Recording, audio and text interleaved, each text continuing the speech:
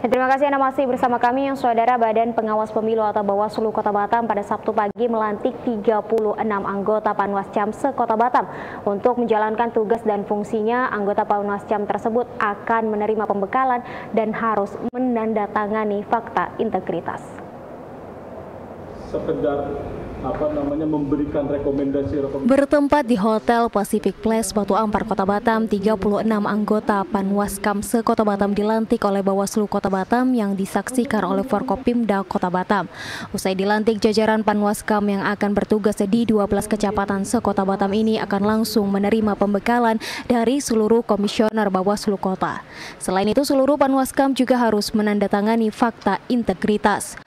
Terkait 36 anggota Panwaskam yang baru saja dilantik, Ketua Bawaslu Kota Batam Sailendra Reza mengatakan dari 36 Panwaskam tersebut terdapat enam orang perempuan yang ikut dilantik.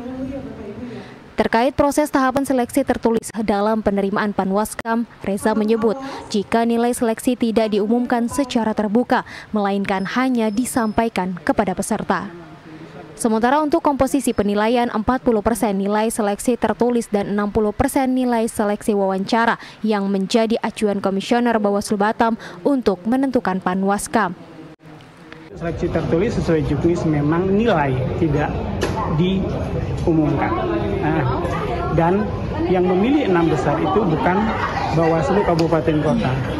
Ya, Bawaslu Provinsi disupervisi oleh Bawaslu RI karena nilai itu langsung di Bawaslu RI dan peserta mengetahui langsung nilai masing-masing dan kami di Bawaslu Kabupaten Kota tidak mengetahui.